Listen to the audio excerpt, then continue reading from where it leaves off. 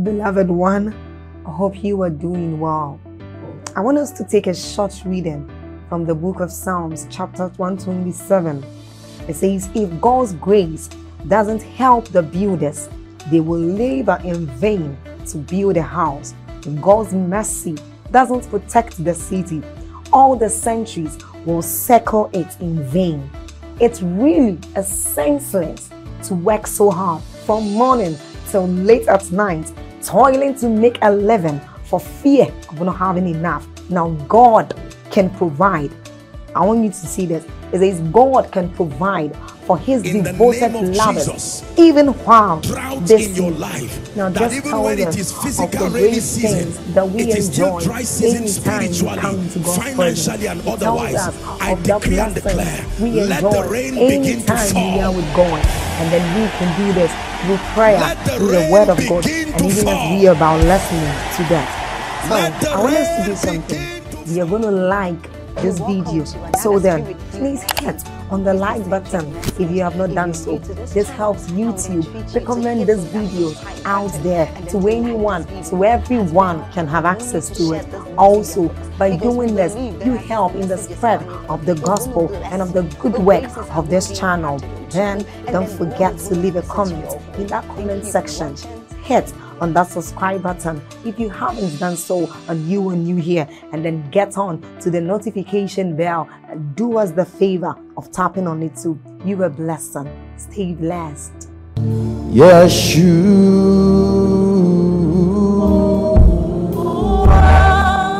This is the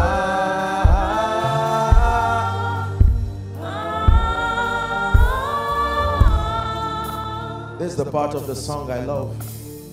Thine is the kingdom, yours is the power, yours is the glory forever. Amen. Yours is the kingdom, yours is the power,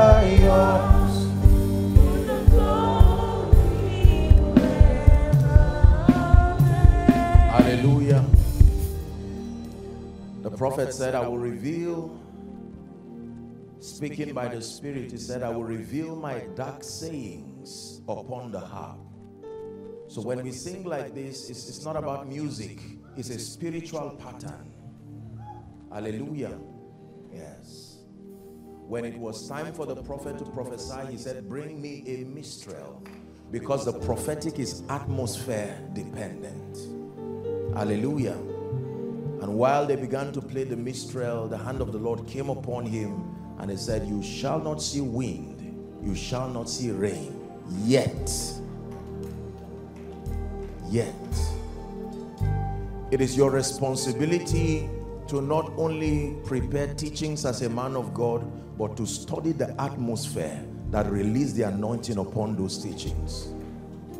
There are times you can come and the Spirit can move you to begin a session of prayer, either because of your own personal positioning or the alignment of the audience that will be receiving from you. You must be sensitive. Preparing a sermon is only a minute fraction as far as the ministry of the word is concerned. Hallelujah. Father, help us this morning yet again. You have brought words with power through your servants, even this morning. Speak to us. In Jesus' mighty name I pray. Hallelujah. I, I really want to charge particularly the membership of this church and I hope and pray that you would grow to appreciate the kind and the level of spiritual investment that is happening through these conferences year after year. I submit to you that it takes a lot of discernment, influence, resources, and capacity to be able to pull together ministers of the gospel that have been marvelously helped of God and by God, especially at the beginning of the year. And I think is worthy of commendation and salutation, especially to your pastor. Thank you, sir. Thank you. Hallelujah.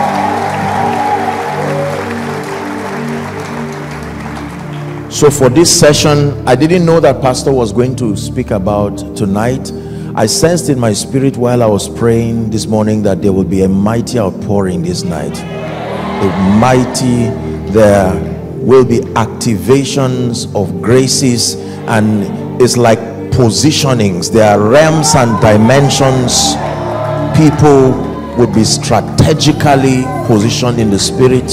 Hallelujah and so don't don't be casual coming early is wonderful but you must come prepared. Hallelujah. Thank you jesus. I'm teaching very briefly this morning and then we'll pray in addition to that which you have received on the pattern for growth and stature. The pattern for growth and stature.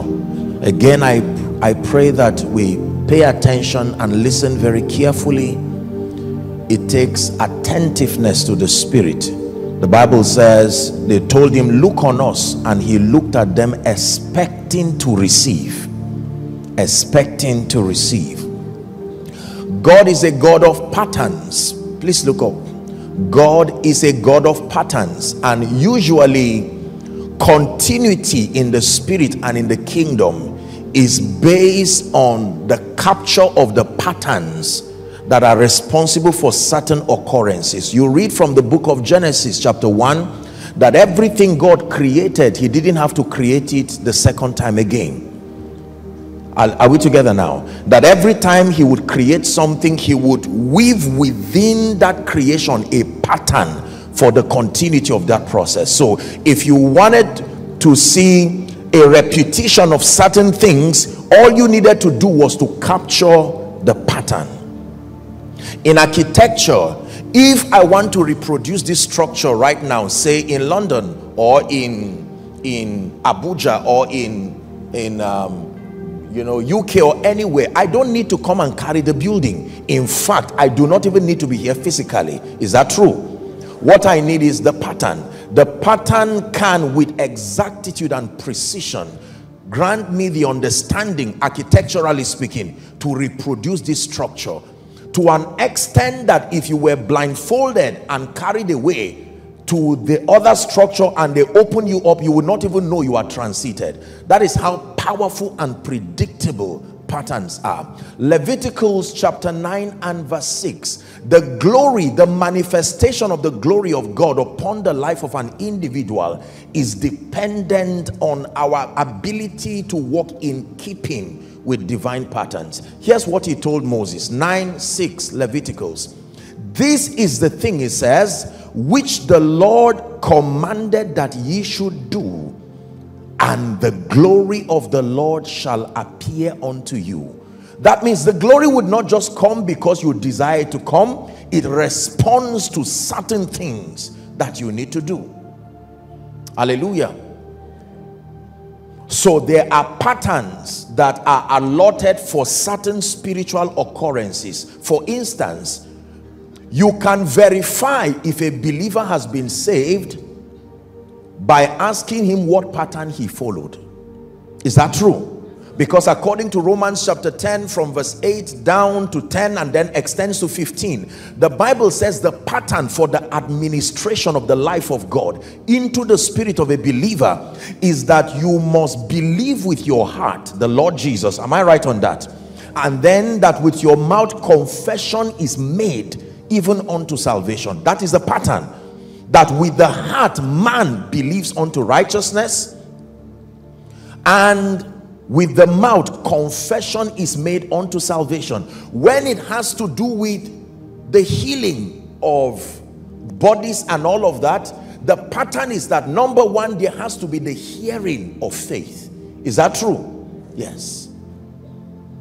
The hearing of faith in partnership with the anointing is what would produce that outcome so all of the outcomes that we desire in our lives we we are helped by God to achieve those desires by the revelation of the patterns that control those results. Church growth has a pattern. Financial prosperity has a spiritual pattern. Are we together? So your maturity in the spirit is not just measured by your longevity in church, but your ability to have through the ministry of the spirit and a teaching priest access the various patterns that control the outcomes of your life. You gain mastery in spiritual things to the degree to which you have pieced together these patterns. Now you can become a blessing because with a doctor's level of precision when you see someone you know what pattern they are missing. Immediately without ambiguity you can tell them this is what you are missing. When satan came to attack peter jesus knew what to do. He rebuked him and he said peter satan had desired to sift you like wheat but the pattern for your deliverance is I have prayed for you. So every time believers are afflicted, the pattern that is responsible, connected to that deliverance is prayer. James 5:13. Is anyone afflicted? He says, let him pray. Are we learning now? Yeah. So it's important for us to understand spiritual patterns and this morning very briefly we want to consider the pattern. What spiritual pattern is responsible for growth and stature in the spirit? What do i need to engage to evolve into superior spiritual dimensions? Because it looks like many believers struggle with the subject of growth and maturity and stature in the spirit. And sadly many have been around you know the house of God for many years but you cannot based on the biblical indices that measure maturity you cannot say they have attained unto maturity. And Galatians 4 says an heir for as long as that heir is a child he says he differeth not from a servant or a slave are we blessed? There is a pathway that if and when you follow, the result is that you must be matured. You will be a person of stature in the spirit. And like we always discuss, there are certain dimensions of your spiritual inheritance you cannot be given until your maturity matches the level to which you are able to manage that gift. The same way a responsible parent would not give a child of 10 years old or 5 years old car keys, not because you do not love the child. His level of maturity cannot support that blessing. So we are unable to walk in certain levels of authority in the spirit experientially we keep reading in the Bible that we should walk in those levels, but experientially speaking, we are unable to because it takes stature to receive certain mantles. It takes stature to walk in certain levels of the anointing. If you're with me, please say amen. amen. Hallelujah. Let's go to Acts chapter 6 and from verse 1 to 4 the early church is a template for us to be able to follow. The bible says and in those days when the number of the disciples was multiplied there arose a murmuring of the grecians against the hebrews. Why? Because their widows were neglected in the daily ministrations. We're reading to 4 verse 2 then the 12 called the multitudes of the disciples unto them and said it is not reason that we should leave the word of god and serve tables. What level of focus and discipline and diligence? This already i can stop in verse 2 and that can be a message for men of god. Be careful with growth growth is able to distract you from what brought the growth in the first place. Legitimately so. It is not only sin that distracts men results can distract. Here is multiplication happening and they are telling them listen you need to pause what you are doing and manage a situation here. But they said listen listen listen we we are not going to be distracted. We will set up a system to protect our focus. Verse 3 give us verse 3 we're still here. He says wherefore brethren look ye among you seven men of honest report full of the holy ghost and wisdom. Can you imagine the requirement in the bible for being in the welfare department? How in the world do you make this kind of laborious requirement? To serve tables you needed discernment wisdom full of honest report Of course, honest report. You are serving people.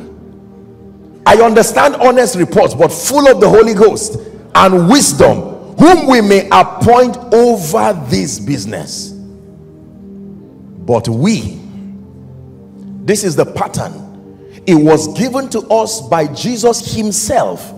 If we are desirous of growth and continuity, He says, but we will give ourselves continually to prayer and to the ministry of the word. Pay attention now. Here the apostles reveal a very powerful secret that was behind their level of growth and maturity. Did you know that all through their time with Jesus, this was all that happened? Prayer and the ministry of the word. Prayer and the ministry of the word. Prayer and the ministry of the word. It transited these gentlemen from timid, confused, some visionless men into mighty apostles of the Lamb. He called them to be with him, and while they were with him, he introduced a spiritual pattern. Now, the apostles had kept this pattern the ministry of the word and prayer. Are we learning already? Hmm. But then I hope that God will help me to be able to bridge a very serious gap, Pastor, I believe, that is widening in the body of Christ and creating sub lopsidedness and imbalance knowing then that the ministry of the word and of prayer are the principal patterns that have been given to the believer for growth. It seemed like something happened through history that diverged people to to choose the ministry of the word or prayer. Are we together now? So the dichotomy has been created between the prayer ministry and then the word ministry. So we have classically speaking, and now I'm, I'm, speaking from a standpoint of love and this to the body of Christ. We have people who would want to brand themselves as prayer people and that is wonderful and profitable. Then we have those who would want to brand themselves as word people. And this has created a lot of confusion because both sides have results. Now if one side is completely failing it becomes obvious that you are missing something. It is difficult to correct a person that has results.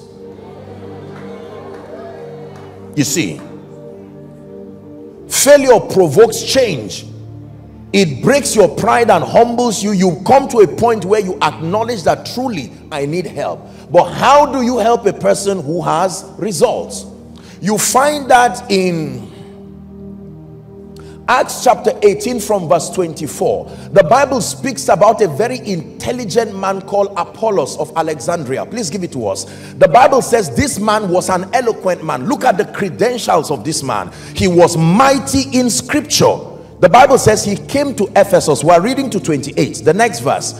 He was instructed in the way of the Lord. So he submitted himself to mentorship. The Bible says he was fervent in spirit and he spake and taught diligently the things of the Lord. What more would you require from a man? But he knew only. Knowing only. You can have all of this and yet know only fervent in spirit, mentored, built, knowing only. 26. The Bible says he began to speak boldly in the synagogue. One day, two strange people were in his conference. I'm telling you, I learned this early ministry. You must be aware that you are not impressing everybody there are while you are ministering the word there are people standing from an elevated altitude in the spirit. Just because they are listening to you does not mean they are helpless. There are people who this is what happened in this case. Please give us that scripture. This guy was ministering shouting preaching with fire like i'm doing now and there were two strange people in that conference. They sat quietly listening to the only that he knew Aquila and Priscilla. The Bible says when they heard him, they commended him. I like them. They didn't discourage him. But then they took him unto them and read with me, expounded unto him the way of God more perfectly. more perfectly. The danger of knowing only. This is the reason why we must brace ourselves with humility. I have profound regard and respect especially for great people whose hearts are open to learn. I am very vocal. When i find things i do not know i'm very i don't i don't tolerate ignorance in my life. My heart is ever open to learn because god gave me this revelation and it brought me deliverance. Sometimes you can be so vibrant but knowing only. Could this have been a message for someone thank god for what you have seen but could it be that you know only. So let this year be the year that God will bring prophetic midwives. Listen to what I'm telling you. Like Aquila and Priscilla, who would help you and expound to you the way of the Lord more perfectly. Let's go back to our discussion. So I was talking about the dichotomy. There has been supposedly one group that places an emphasis on prayer and all the supporting spiritual exercises that come with prayer like fasting and some other things but may seem to subliminally or even vocally downplay the ministry of the word. Then respectfully speaking on on the other hand we have people who exalt the word they demonstrate clearly the supremacy of the word and may seem to not pay attention to the ministry of prayer and all the supporting spiritual exercises that accompany prayer. Hallelujah. And you see all these sides have their consequences.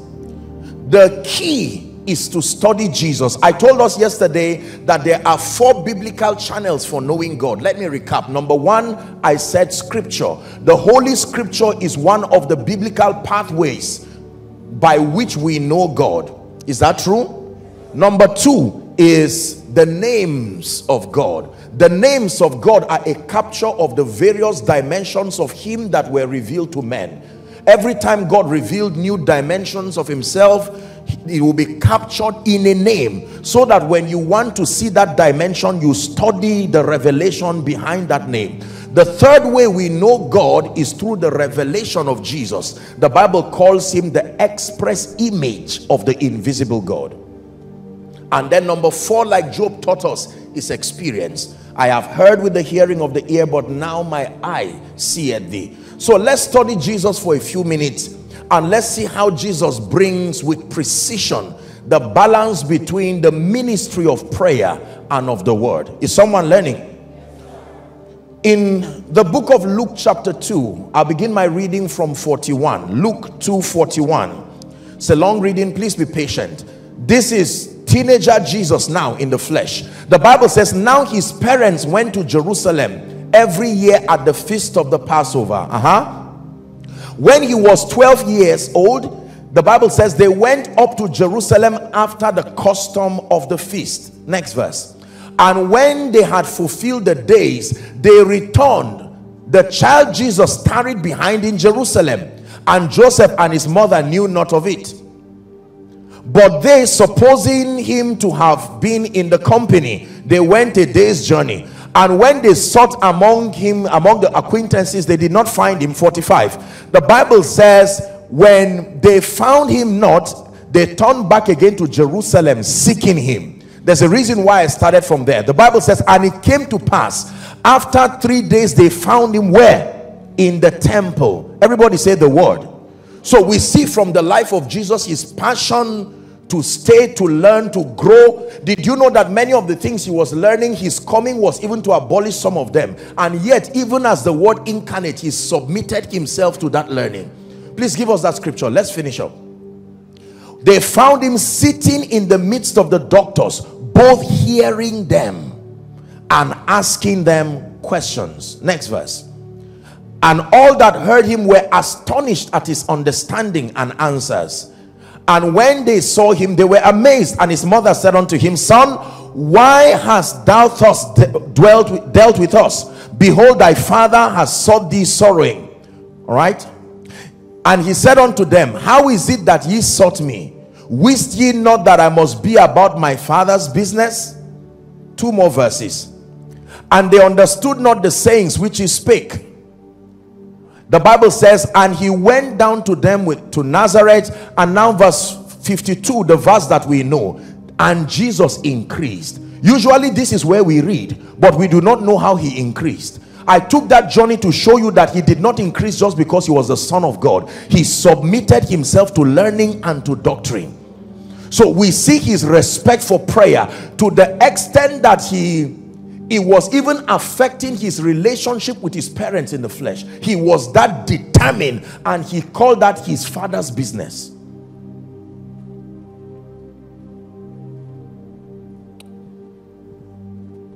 Mark chapter 1. We'll read from verse 21 to 28. Mark chapter 1. Watch this now. This is Jesus. And they went to Capernaum, and straightway on the Sabbath day, he entered into the synagogue. Verse, next verse. And they were astonished at his doctrine. Everybody say doctrine. One more time, please say doctrine. For he taught them as one that had authority and not as the scribes. And there was in their synagogue a man with an unclean spirit, and he cried out, saying, Let us alone. What have we to do with thee, Jesus? So you see that Jesus grew in the word, had doctrine with proof, because exousia, the word that is translated authority, is derived from the strength of your understanding of the word. There are four words that are used to express power and authority. Two of them are largely known in the body of Christ dunamis and exousia. Exousia is a product of your the depth of your comprehending the ways and the principles of god. It translates to authority. It legitimizes your ability to now stand in the office of the christ and to administer authority. Are we together? I hope you know that authority is what gives legitimate ground for the use of power. You can have power but authority is what makes the administration of power legitimate hallelujah. You can have a gun that is power. But one person can shoot it and will clap for him. That is authority. Another person can shoot it and end up in jail. Are we together now? Yeah. It's not enough to have power. You must have authority. And that comes by growth. It comes through your comprehending the word. Let's finish that scripture please. Verse 25 now very quickly and jesus rebuked him saying hold your peace come out of him next verse and when the unclean spirit had turned him and cried with a loud voice, he came out of him. What was the result? The Bible says they were all amazed in that they questioned among themselves, saying, What thing is this? What new doctrine is this? For with authority, they acknowledge the authority that came from the word. Commanded he even the unclean spirit, and they do obey him. And immediately on account of the word his fame spread abroad to all the regions please jump to verse 32 for sake of time i want you to follow patiently i'm trying to establish Jesus as the pattern that brings the balance of prayer and the ministry of the word. Now we have seen the ministry of the word in his life and the corresponding results that followed. The Bible says verse 32, and at evening when the sun did set they brought unto him all that were diseased and them that were possessed with devils uh-huh and all the city was gathered together at the door. He healed many who were sick of divers diseases casting out many devils and he suffered not them to speak.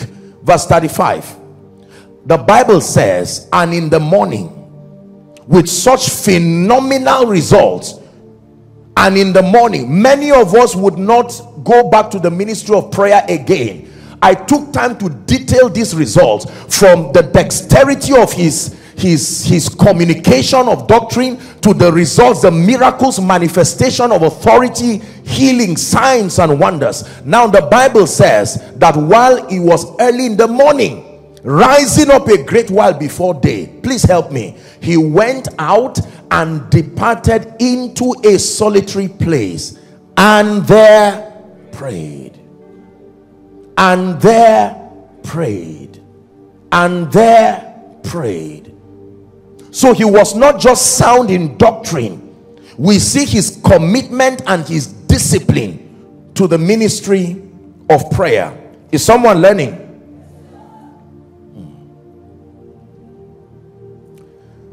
Matthew chapter 4 probably gives the most, in my opinion, the most intelligent theological defense that attempts to bridge the gap between the dichotomy that has been created between the ministry of prayer and the ministry of the word. I repeat that for many people, um, because of the results that come from the ministry of the word, we may not seem to immediately see the necessity for a rich and a robust prayer life. Not as a system of managing emergencies, but as a lifestyle. And then for people who are inclined to prayer, because of the spiritual blessings that come from the place of prayer, they might not need to endure sound doctrine to now learn. Because you see, it takes time to be matured by the word. You can pray in one hour. You can't grow in the word in one hour. It will take time. The Bible talks about men enduring sound doctrine. Are we together? So let's look at Matthew chapter 4, please. Again, I request that you pay attention. Just lend me your attention and let's patiently understand something as we pray. Matthew 4 verse 1. This is what we call the temptation of Jesus. Follow closely. Then Jesus was led up of the Spirit into the wilderness. So we see the ministry of the Spirit at work in the life of this Jesus We're not in doubt as to his submission to the ministry of the Spirit. The next verse, please. Verse 2, the Bible says, when he had fasted, of course, that went with prayer, 40 days and 40 nights. Afterwards, he was hungry. So we see that he went to the wilderness by the leadership of the Spirit. We see that he got to the wilderness, he prayed and fasted 40 days. You know the level of spiritual stamina it takes to stretch like that we're not talking of fasting and breaking in the night. 40 days, 40 nights, as much as we know, we did not see any food or anything there given to him. Now, when that was done, verse 3, when the tempter came, my God, may God open your eyes to see something here now. When the tempter came, the tempter met the man who had the word and prayer. The tempter met the man who had the word and prayer. The tempter met the man who had the word and prayer. Watch this. And he said to him, If thou be the Son of God, command these stones that they be made bread. Look at the reply of Jesus. Everybody, please read with me. But he answered and said, It is stop. Did he say, I prayed? Did he say, I fasted? what was his answer but what was he doing in the wilderness prayer and fasting you thought that when he met the devil he would say are you in fact shouldn't you be afraid that the prayer and fasting of jesus brought satan closer to him hmm. you would think that after praying and fasting for 40 days led by the spirit should satan be able to stand such a man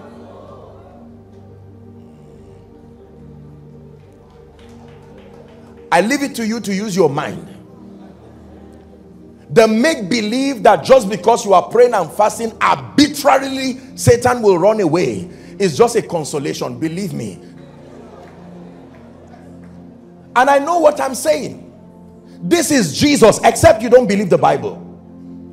Jesus, the word incarnate, immersed himself in the word, now prayed not before the prayer, not during he was done praying 40 days with fasting and Satan shows up. No shaking no falling no fear and he says you are hungry. Don't deny it. You are hungry. He's talking to Jesus and he's saying use the power you have gotten from your prayer and fasting. Turn stone to bread. And Jesus looked at him and said it is written. Please look up If Jesus had prayer and did not have the word, he will fall over that temptation the same way someone who did not pray and fast for 40 days. His not knowing scripture would have aborted the potency of his fasting and prayer. If you were to rate Jesus who had spent time praying and fasting and someone who did not even pray, both of them would have fallen over the same temptation. His basis for security was it is written. Please give us that scripture. First temptation. It is written. Man shall not live by bread alone, but by every word that proceeded from the mouth of God. Now look at Satan. You see, Satan is every other thing but foolish. Don't add foolishness to your description of Satan. You'll be wrong. Hallelujah. The devil took him to a holy city and set him on a pinnacle of the temple and said to him, if thou be the son of God. Now watch this. The ministry of prayer is about to come in now. Satan said, oh, I see that you are grounded in the word. So let's go to it is written now. For it is, did Satan also say it is written? So if all that Jesus had was it is written without discernment, he would fall like a pack of cards. The moment he demonstrated supremacy to the word, Satan also switched. That means I will not make my temptation so obvious. I will use things that are scriptural. So I took you to a holy temple. Since I spoke about carnal things, your belly, now I see you are spiritual. Let's talk about spiritual things. I also know it is written this is where the discernment and the stamina that comes from prayer now helps you to survive is someone learning now please give it to us it is written he shall keep his angels. Look at the accuracy of quoting this scripture. He shall keep his angels charge over you. You see let me tell you. The truth can also destroy. Just because it is the truth does not mean it will bless you. The truth must be rightly divided and accurately communicated. This statement you see watch this now was not a lie satan was quoting verbatim but the basis of that quotation was the bible called the entire process temptation. And yet scripture was part of the tools that were used for that temptation.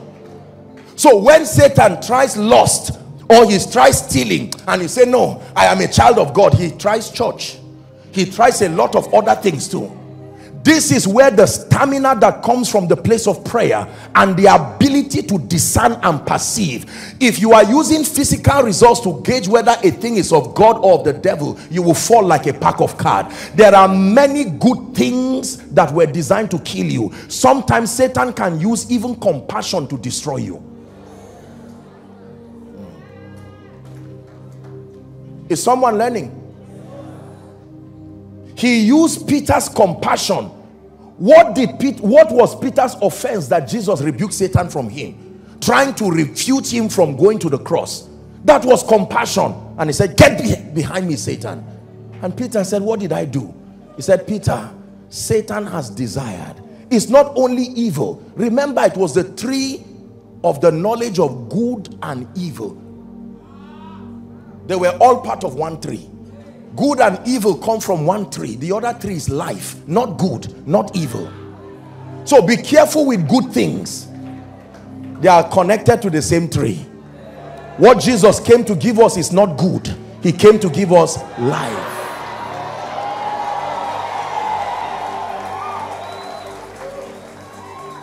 We look to yahweh yahweh our hope is Yahweh. Yahweh. We look to Yahweh. Yahweh. Forever Yahweh.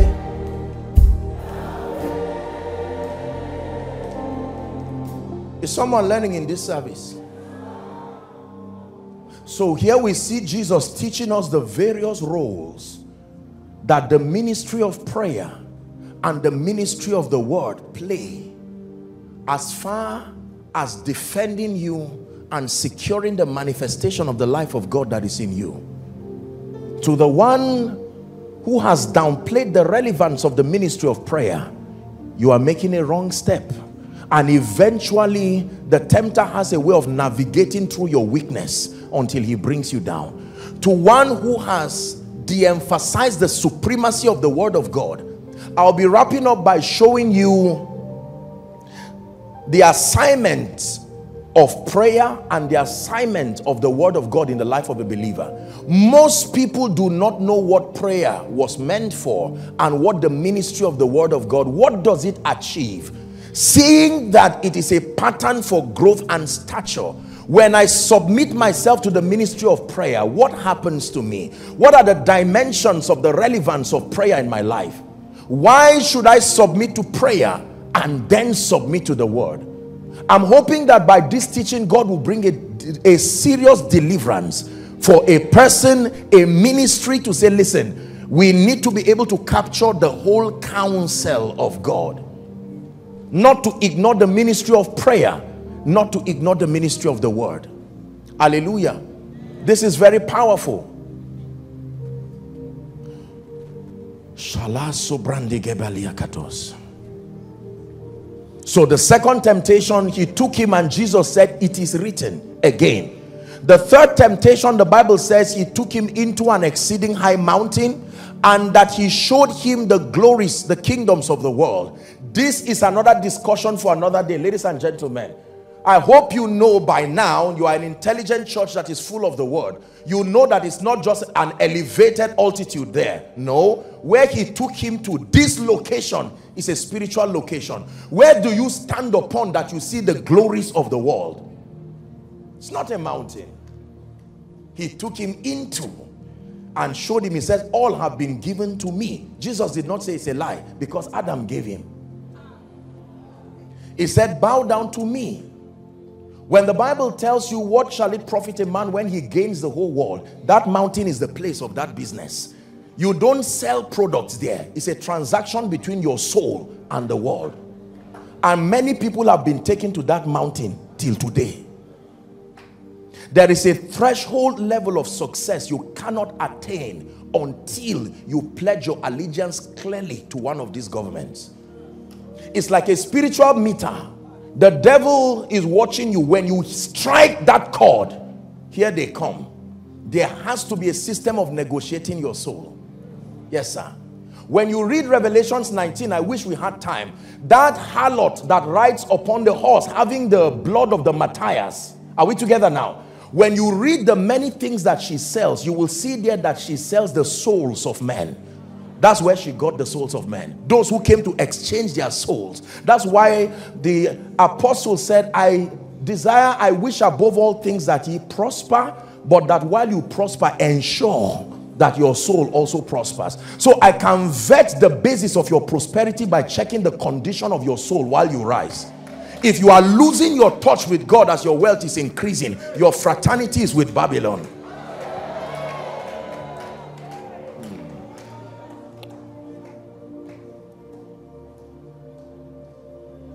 We don't clap for people for being prosperous in the kingdom until we ascertain the state of their soul. If we find out that the higher your glory increases, whether financially speaking, your life is going down, you need to go for a retreat and vet who is sponsoring those possibilities. Because Satan will never allow you to rise as your soul prospers. It is the reason why the principles of prosperity for a believer is very different from an unbeliever and does not make sense because until we explain the side effect of being of prospering the world's way, there is no obvious side effect except we check from the realm of the spirit. Are we together? So what is the assignment of prayer? Let me wrap up. What is the assignment of prayer? I want to make a statement that I hope will not be misunderstood. Prayer is not the only key in the kingdom. There are keys of the kingdom. There is one key to the kingdom, Jesus. And then when you come into the kingdom, there are many keys of the kingdom. Prayer is a foundational, fundamental key but it is an error to believe that prayer is the only key in the kingdom. Prayer must be involved in every process of the kingdom, but it is not the only key. Are we clear on that? It is true. If you come into a house, you come through the main door, which is Jesus. There are rooms in that house. Is that true? If you have the key to the restroom alone, you'll be in trouble when you are hungry. Because you have the key to, you are in the house. We are not doubting it. But now you are hungry and the only key you have is to the restroom. Or if you have the key to the kitchen alone, if you need to use the restroom, the key to the kitchen, as potent as it is, may not help you. So he gave us the keys. The keys. Are we learning now? Yes. One of the fundamental major keys of the kingdom is the ministry of prayer. I needed to say that um, I'm a man of prayer, so you, you know that. I'm not, I'm not downplaying it at all. But it is important to bring us, it is such revelations that have made us downplay other keys. It is important, no matter how small and how large a key, a key is a key. You can stand in front of a small door because a little key was missing. Are we, are we together? A key that you can put in your pocket, for instance, you can have a robust prayer life, you can have a robust word study life and not understand the power of relationships. That alone can cripple and literally abort everything as though you were not a Christian. The Bible is a holistic capture of all the ways of God. Are we together now? line upon line, precept upon precept. Did you ever wonder what Jesus was teaching them? That even after he resurrected, he said, Get back, let's continue the lecture for 40 days. What else was he teaching them? If it was the ministry of the word, he had taught them. If it was prayer, he had taught them. So, what else was he teaching them? Until the church embraces the entire counsel of God, we will not attain unto a state of maturity. So you see various versions of lopsidedness in the body of Christ, which are a testament to the fact that we have ignored, ignored certain dimensions, maybe sincerely this is why God put conferences like this to be able to bring to speed and bring us to a point of balance so that you see when you read revelations he said come and I will show you the lamb's wife. He said he showed me a city that was equal in length equal in depth equal in height. No imbalance. That is the lamb's wife. Are we together so when it comes to the ministry of prayer, you are robust on fire. When it comes to the ministry of the word and all the other dimensions of the kingdom, this is why he gave unto some apostles and prophets. Is that true? Evangelists, teachers and all of that for the maturing of the saints. That the saints now being matured will do the work of the ministry. Let's finish up. What is the assignment of prayer? I'll not be teaching, but I'll just list it just for us to know.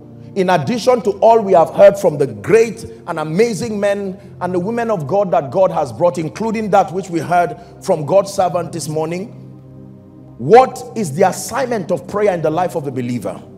I have studied my Bible and I'm, I'm still a student learning, but I have found four principal assignments that the ministry of prayer accomplishes in the life of the believer. Number one, the first assignment of prayer that the Bible reveals is for transformation. Luke chapter 9 and verse 29. The Bible speaking about Jesus again, our pattern man. He said, and as he prayed, the fashion of his countenance was altered and his raiment was white and glistening the principal assignment of prayer is not even for petitions. It is a tool that was given to help you evolve to superior spiritual dimensions. Show me a believer that just came into Christ and let that person submit himself through methodical mentorship to the ministry of prayer. I show you a fading version of that man and like the eagle, a new version. A weak you can become a strong you when you pray a timid you can become a powerful you when you pray. Are we together now?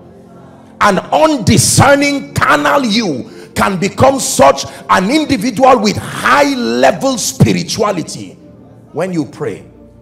In Luke chapter 18 and verse 1 Jesus spake a parable the Bible says to the end that men not some men men provided you are a man he says that you ought to pray and not to faint First Thessalonians 5:17 it says to pray without ceasing. It means to be consistent in your prayer life. Are we together? So the first assignment of prayer is for growth and transformation. Number 2, the second assignment of prayer as revealed from scripture is for obtaining requests and for making petitions.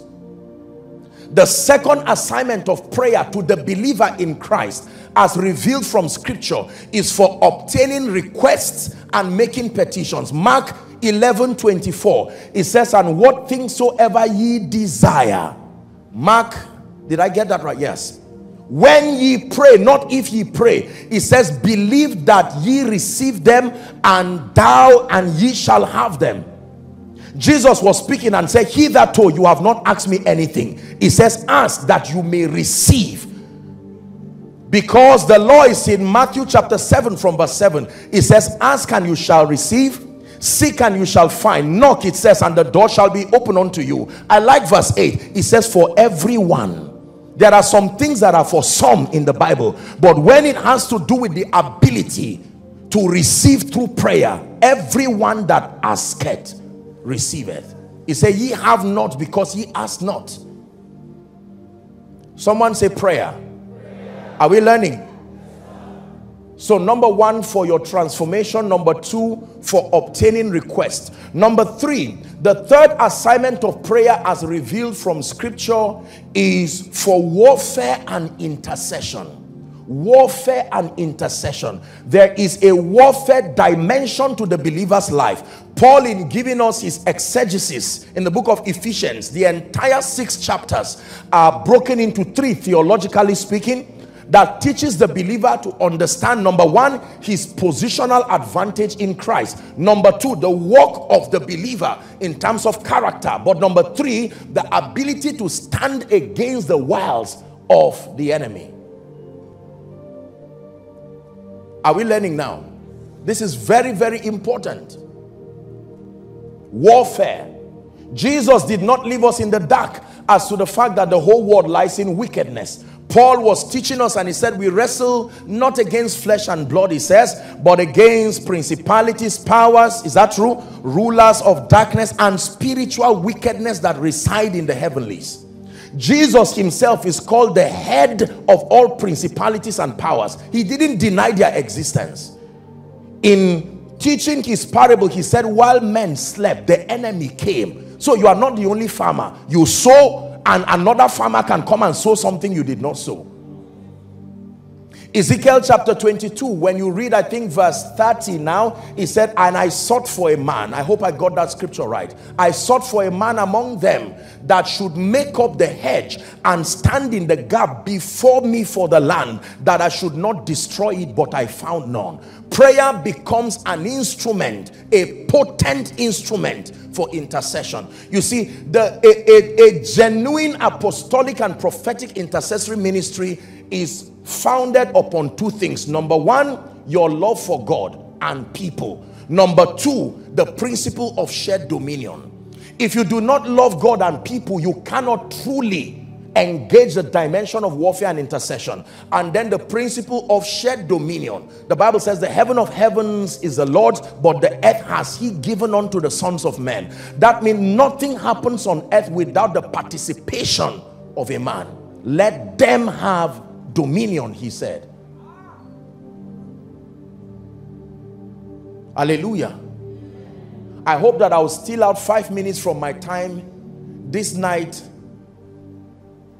and will trust God to pray and speak over Nigeria in the mighty name of Jesus Christ. Hoping and wishing and praying and saying things will change is a joke. And don't let anybody laugh at prayer going on because it matters. Like i said it is not the only key but it is a potent key. If we don't pray we're going to be in trouble. In fact the cure for temptation the bible says watch and pray. That means your mind and your spirit watch there means don't throw your mind away you will need discernment there is an intellectual component to your safety but in addition he said pray so that's number three. Have we been blessed today? The fourth assignment of prayer as revealed from scripture is for spiritual legislation, the ability to create possibilities in your life. I'd like you to please pay attention. If it is true that God is creator, the first revelation of God from scripture was not a healer, was as creator. Genesis 1 verse 1, the Bible says, now the earth was dark and void is the Hebrew word tohu wa bohu, confusion and chaos. And then verse 3, it says, and Elohim, the talking spirit said, light be. Are we together now? And there was, and what he saw was good. So we were created in the image and the likeness of God and we must also function as talking spirits the ability to legislate to create our possibilities the bible says in proverbs i believe is it or job 22 28 said declare ye that thou mightest be justified where the word of a king is thou shalt also decree a thing yes and it shall be established unto you. Can i tell you never downplay the place of confession. But the challenge and i say this respectfully to the body of christ is that confession without the hovering of the spirit is empty words. This is the technology the bible reveals. God never spoke until he ascertained that the movement of the spirit had set the atmosphere it was the spirit that took ezekiel. When you read ezekiel 37 in the valley of the dry bones please pay attention. The spirit of god took him there. I prophesied as i was commanded. The atmosphere had been created and there was a sound. Most times we just make empty confessions. That's why it does not work. You must ascertain the hovering of the spirit. Is the union of the hovering of the spirit and the spoken word that commands creation i would learn that practically in a Reinhard Bonnke crusade many years ago i was in that crusade you may have heard my story thousands of people and i was standing watching that great man of god I was also a man of God, but I had to throw all of that because you don't receive from colleagues. You must submit yourself. That spiritual potential difference must be there.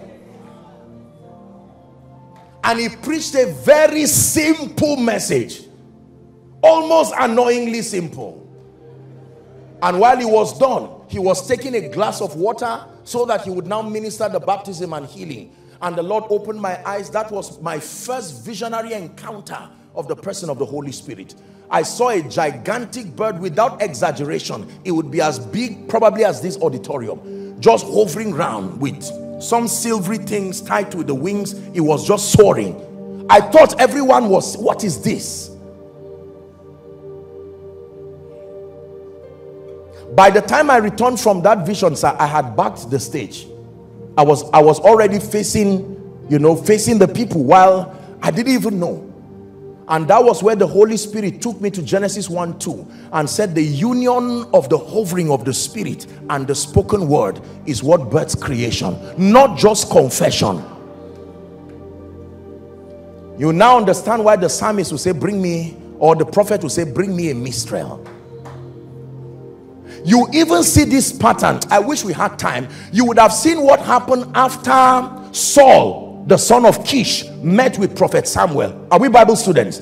One of the one of the signs that he was given was that as you return number one restoration had happened. What was missing had now been found. Number two honor and favor. You will meet three men holding two loaf of bread. They will salute you and give to you. And he says receive then number three you will come to the garrison of the philistines and you will see some prophets and they will be holding instruments of music. What were they doing with it walking on the street? It is a law it's a spiritual law. There is no man i know that walks in superior dimensions of the miraculous that does not have an inclination to the atmosphere of worship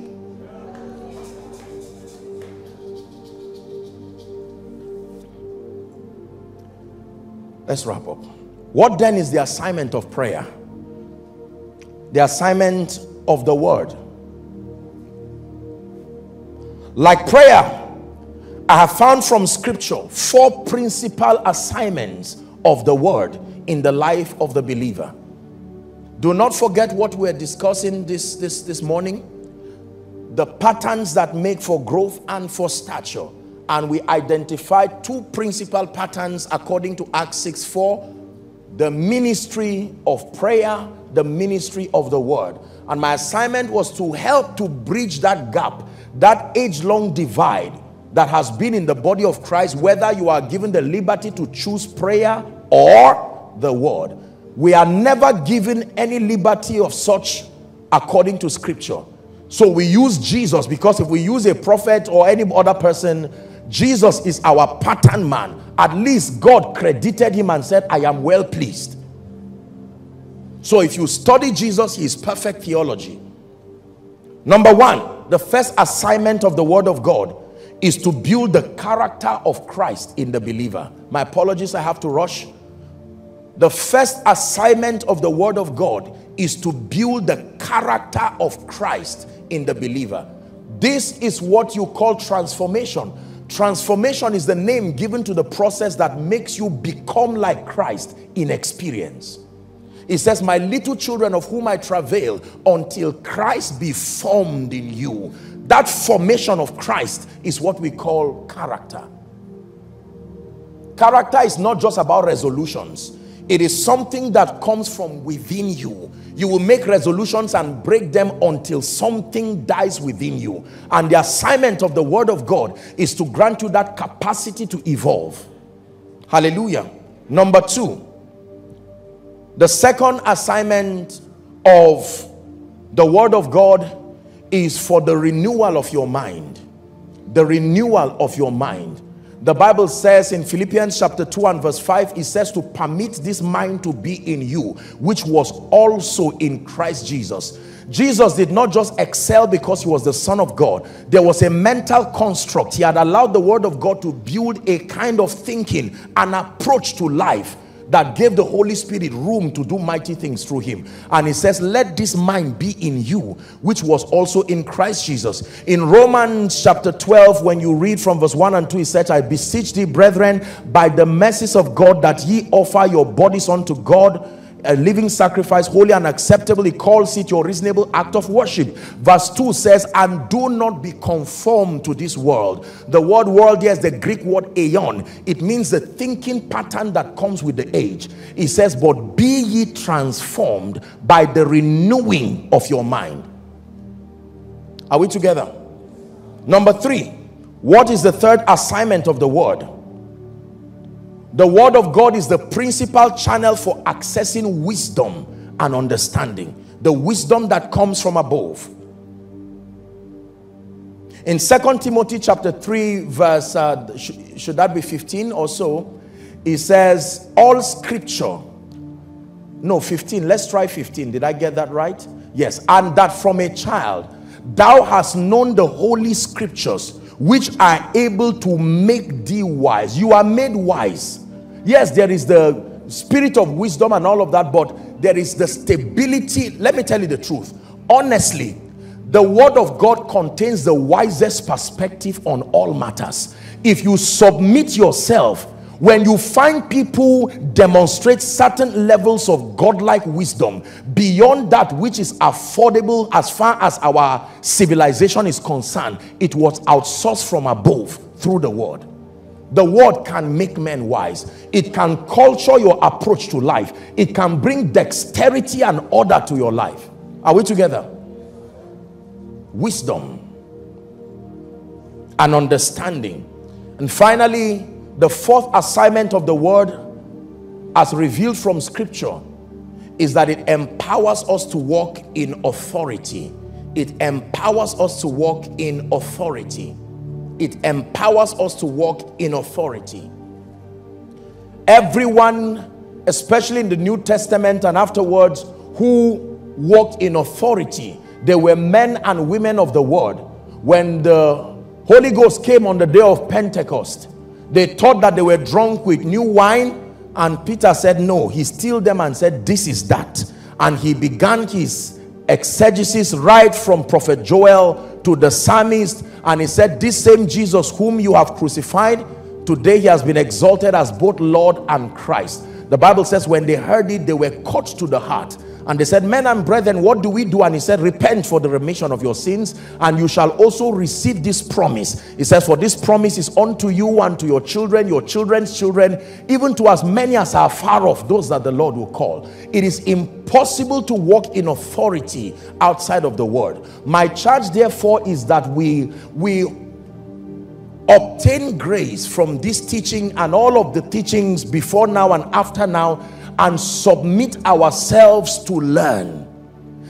Respectfully speaking especially if the call of God is on your life whether you have begun ministry or not you never outgrow learning the word of God. Your authority is a measure of the word of God that is resident within you. It is written you may have heard me say is greater than I saw. It is written is greater than I heard.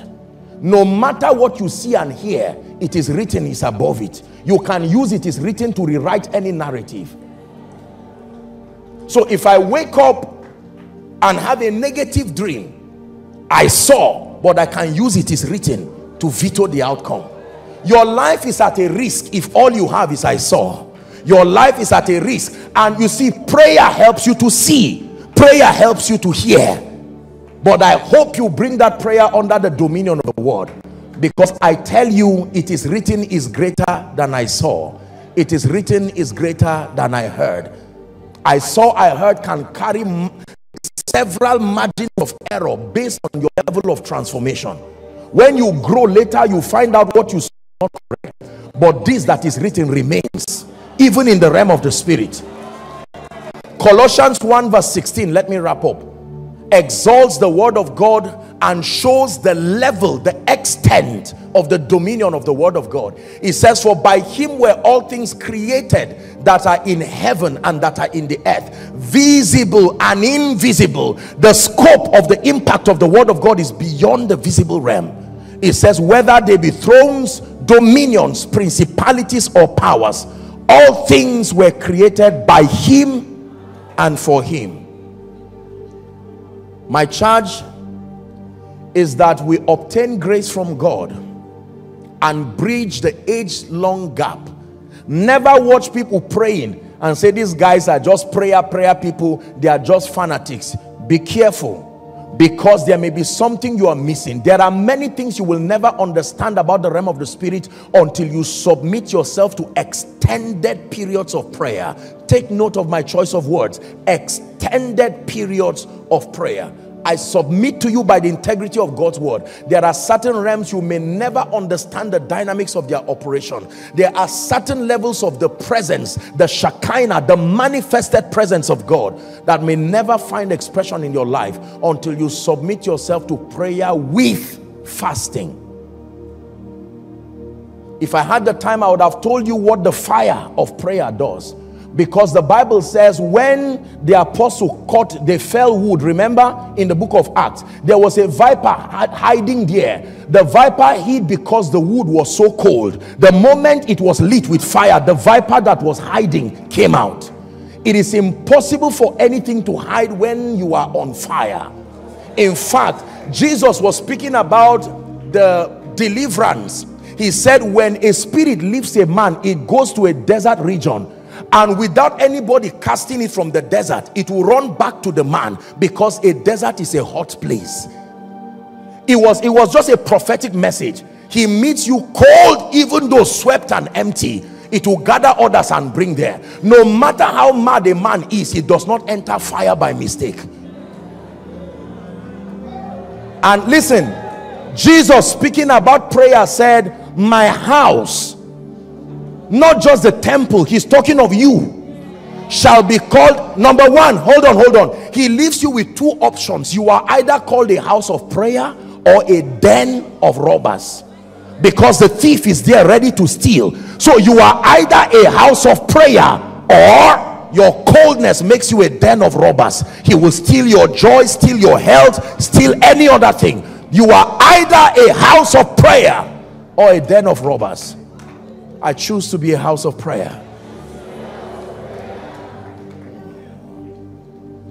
But then I trust God for grace and we thank God for the remarkable apostolic works that great men like Pastor Poju are doing across with WAFBEC to be able to bridge the gross ignorance that is in the body of Christ. I apologize. Please lend me one minute. Let me press on this. This is very important. I submit to you that there is a lot of random, uncoordinated knowledge within the body of Christ. Knowledge must be sequentially arranged.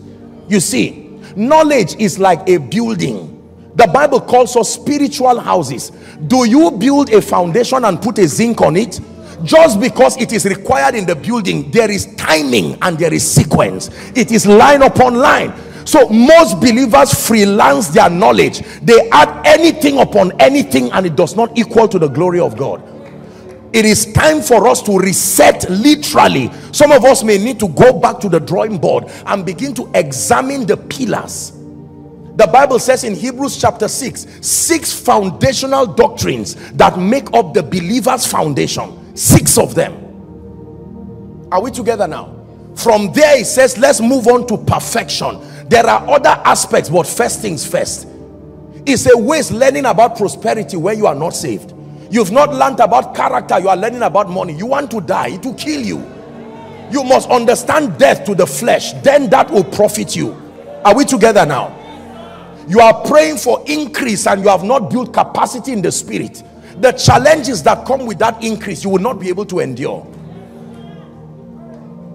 So i'm hoping and trusting and I pray that God will help all of us, including myself, men and women of God across Nigeria, Africa, in this prophetic wave of revival, that we must return to the place of doctrine. We must obtain grace to leave this celebrity Christianity and get serious with building God's people. According to Jeremiah 3.15, that we become pastors according to God's heart, who will feed God's people with knowledge and with understanding. Let me rest my case. Please rise up on your feet.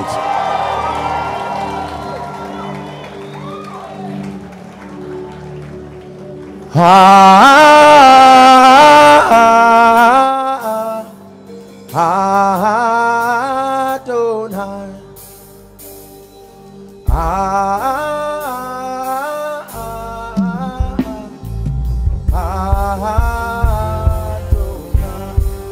Just one prayer point. Father, I obtain grace to submit myself to prayer and the ministry of the word. Please lift your voice and pray. Let it be from the depth of your heart.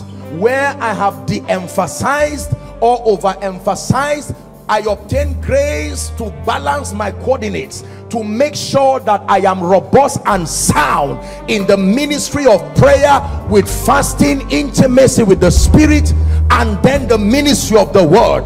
I submit myself to learn doctrine. I submit myself to be methodically mentored. I obtain grace from you that i would be like the lamb's wife equal in length equal in breadth with no exaggerations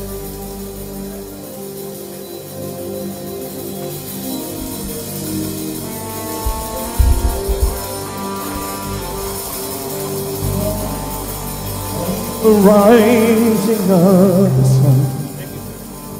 Dearly beloved, I hope you were blessed by this message. Do not keep the video to yourself. Share to as many as you can to help them bless. Check our homepage for more of our messages. Subscribe to the channel, comment on it, like it. See you on our next video. Bye. Pray. Pray.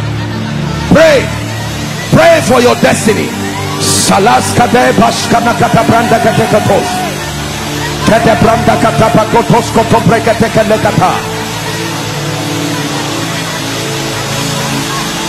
The phase of development. Lord, grant me the discipline